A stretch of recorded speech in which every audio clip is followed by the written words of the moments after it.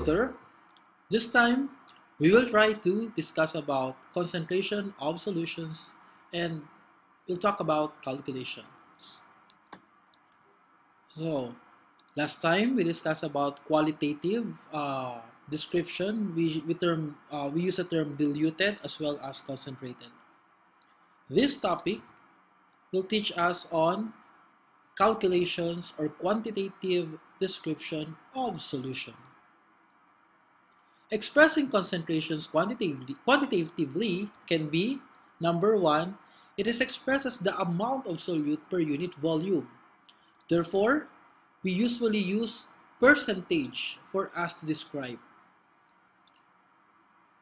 We, uh, it, it is also can be expressed as percent by volume.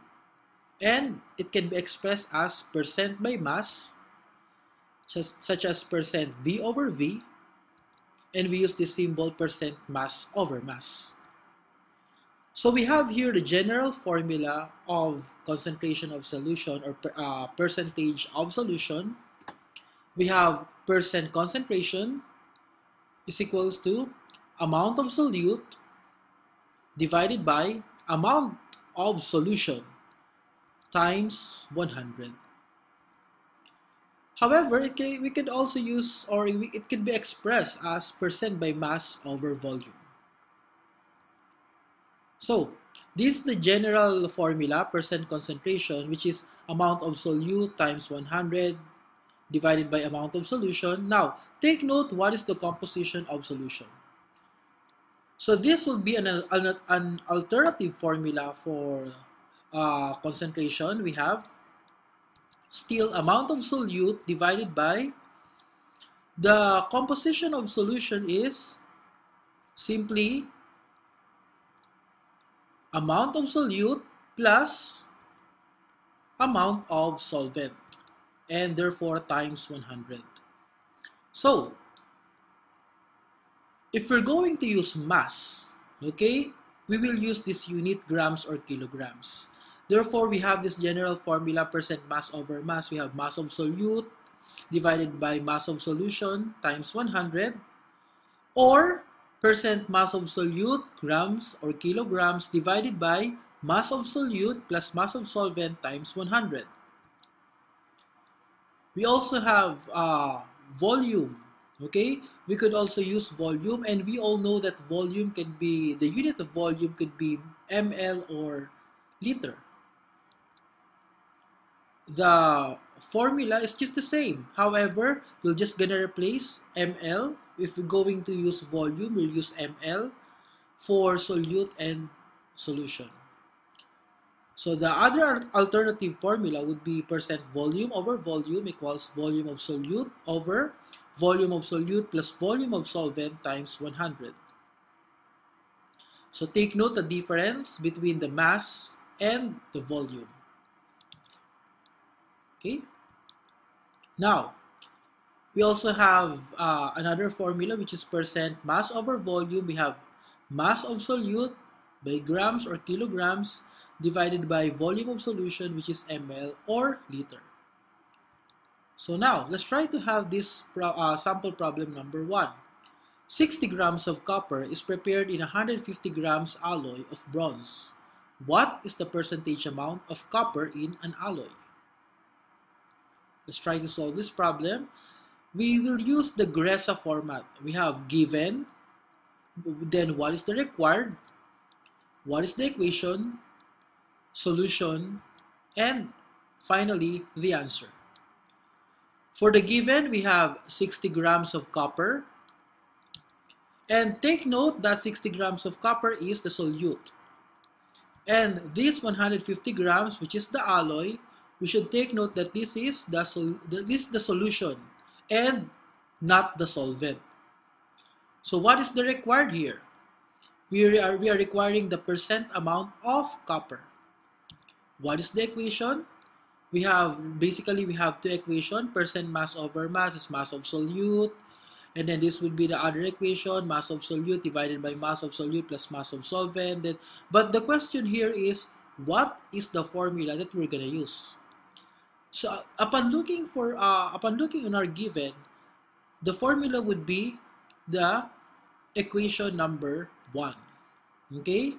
So, we could plug it also, we could use this triangle method wherein the, the, on the top we have mass of solute, on the left side we have percent mass over mass, and on the other side we have the mass of solution. Okay? Now, if we're gonna look for mass of sol uh, mass of solution, this one mass of solute divided by percent mass over mass. If we're referring on this relationship, we have percent mass over mass times mass of solution. And if we're referring on these two uh, two relationship, we have mass of solute divided by mass of solution. So, the general formula would be the equation number 1 based on, on our given. Let's try to plug in to our solution, percent mass over mass. We have 60 grams divided by 150 grams, then times 100, we just press our calculator. And therefore, we have percent mass over mass is equivalent to 0.40 times 100, and that is 40%. Okay? We have 40% mass over mass. Meaning to say, uh, we use grams as our unit. Let's look on our sample problem number 2. 175 ml of rubbing alcohol is prepared in a 250 ml of alcohol solution. What is the percentage of alcohol expressed in percent volume over volume? So this time, let's look on our given. Our given is 40 ml alcohol, and that is the solution. And we have 250 ml solution, okay? And note that this 250 ml is not the solvent. So what is the required? Simply the percentage of alcohol. The equation is the same, volume of solute. This time we're talking about volume, so therefore we are replacing it with ml or liter. So among these two equations, which one we should be used? Is equation 1 or equation 2? Definitely, we have uh, equation 2 is uh, not, uh, it is not the formula. It is not a plausible formula. Therefore, we have equation number 1. Okay? Still, we're going to use this triangle method. Okay? Later, you're going to see the importance of this triangle method. Okay? So this will be our formula and then apply our solution.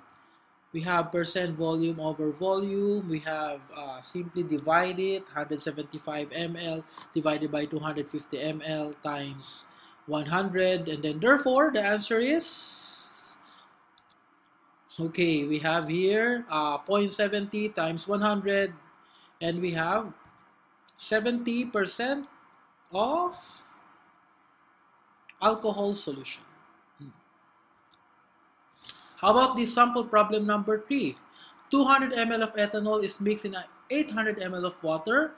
What is the percentage of alcohol expressed in volume over volume? Now, let's try to analyze this uh, problem. Let's try to look at their given. The given will be here 200 ml ethanol.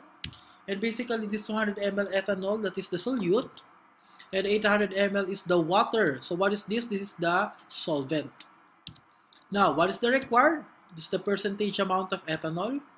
What will be our equation? We have two equation, but this time we're going to use the second equation, okay? So we have volume of solute divided by volume of solute plus volume of solvent times 100. So what is the solution? Percent V over V equals 200 ml. So we have here volume of solute, okay? So we have, that is 200 ml plus what is the volume of solvent? Okay, we're to add it up, which is, we all know that is 800 ml. Okay, and then, so times 100, what happened to my 800 ml? It is gone. Okay, so that is simply 0.2 times 100, and that is 20%. Okay, 20% of what? 20% volume over volume.